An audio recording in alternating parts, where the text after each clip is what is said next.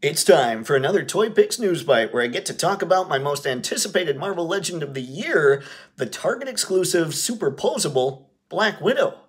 Okay, now I can't give her a point for paint because really nothing below her face sculpts is painted. And I can't give her a point for natural movement because there's just enough design work in there where you can break up the sculpt by twisting her upper torso.